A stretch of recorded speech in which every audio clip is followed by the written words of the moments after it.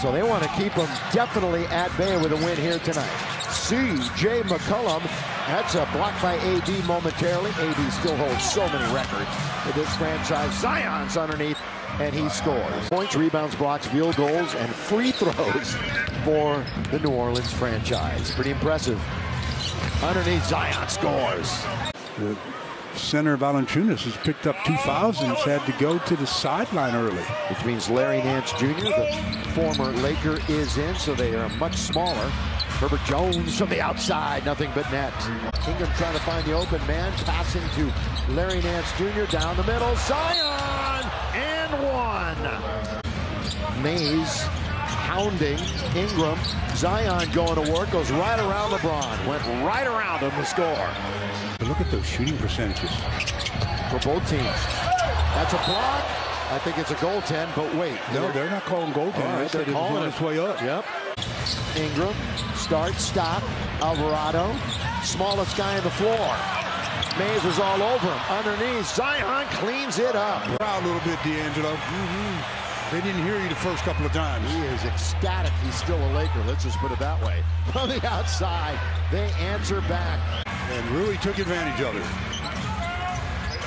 Lakers, their biggest lead of the game right now. CJ, though, comes right back. How smooth is CJ McCollum? Very. He averaged four threes made per game in that month, and then he's done it again twice in February. So, Stu, he does have the tendency to get red hot like that. Blocked by Hayes, Mike. Underneath, Zion going at it again, and he throws it down with authority. That month, and he's done it again twice in February. So, uh, Stu, he does have the tendency to get red hot like that. Blocked by Hayes, Mike. Underneath, Zion going at it again, and he throws it down with authority.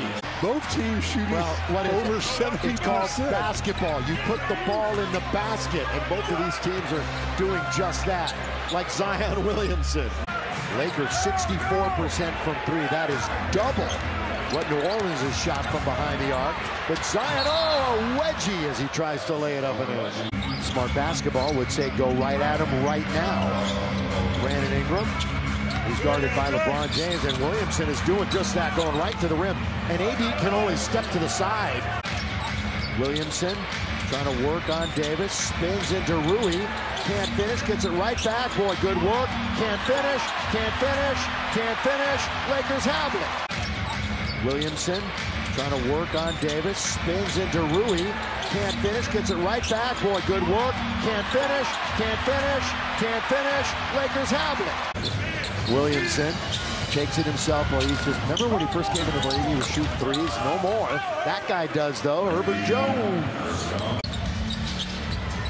That was the general thought process of everybody who's watching. McCollum from deep, and down it goes. This could be a six-point game here or less. And maybe a timeout by the Lakers. Zion scores it. Timeout, Lakers. Six-point game.